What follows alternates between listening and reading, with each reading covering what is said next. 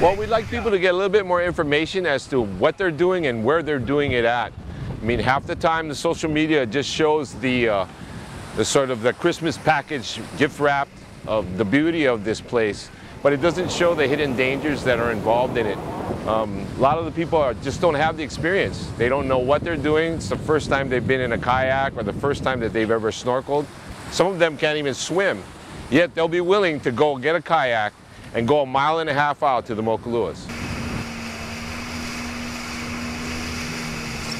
If, if they don't know the conditions around what's happening out there, I mean, it's always dangerous out there. It could be actually a really um, offshore day where it looks beautiful on one side of the island, but if there's a swell running or if there's some sort of current going or the tide changing, the backside of the island can be really treacherous even though it looks really calm.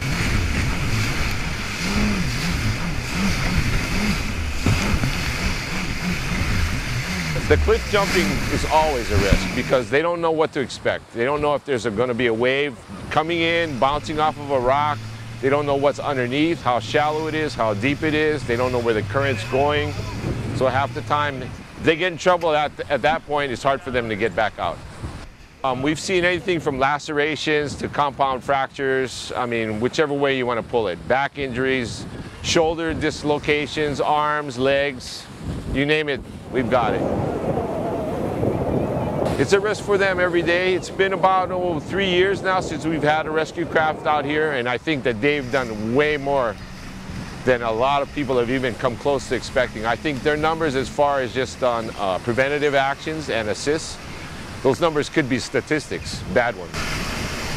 Anywhere from the flash mob to whatever, it's, whatever you want to call it. I mean, basically what happens is, like I said, they sugarcoat it, and it makes it look really pretty. And more often than not, a lot of times on those days when you have those beautiful photographs, it is.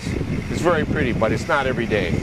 Um, the windward side of Oahu, probably onshore wind like this, maybe 300 days out of the year. You know, you'd be lucky if you get two weeks that have Kona winds where it's offshore trade winds and beautiful like a lake. So almost every day you, you can consider it having some sort of hazard being happening out there. The first thing I think they should discuss the conditions and where they're going and what they want to do with the lifeguards, if there are lifeguards on the beach, or with the rental people as well. Um, you got to know what's what you're going into, you know, before you know what the what the damage can be done from it. I, you know, it's hard it's hard to say it, and that's the reason why I guess we're probably doing this thing, is to uh, enlighten people and give them a little bit more knowledge.